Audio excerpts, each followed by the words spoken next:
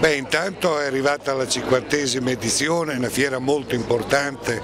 per Argenta ma anche per tutta la provincia. È una fiera che è riconosciuta anche a livello regionale proprio a dimostrazione dell'importanza che riveste. È un grande momento anche di animazione economica questa fiera e credo che ogni anno si migliori rispetto all'anno precedente. Oltretutto i temi che cerca di mettere anche in evidenza sono temi che riguardano strettamente il nostro territorio e che guardano anche alle prospettive del nostro territorio. Parlare di agricoltura, parlare di turismo, parlare di cultura significa avere attenzione dire, a quei settori che possono costituire un valore aggiunto guardando al futuro. Un'occasione molto importante non solo per la ricorrenza ma come si diceva nei discorsi ufficiali perché è stato il momento nel quale si sono potute inaugurare delle strutture, in particolare quella del mercato coperto, che è nelle attese, nelle radici degli argentani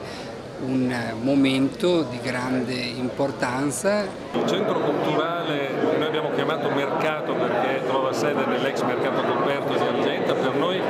sempre stato un progetto che faceva parte anche del eh, mio programma di legislatura, quindi era già stato presentato tre anni fa con l'intenzione di, eh, di essere un progetto che noi volevamo realizzare all'interno di questa legislatura perché ritenevamo che fosse importante raccogliendo un'eredità del mio predecessore Ricci eh, che Argenta avesse un punto così importante e centrale dove poter fare cultura perché questo è il tema essenziale. È sicuramente una scommessa per l'amministrazione comunale di Argenta, è, luogo, è il recupero di un luogo storico,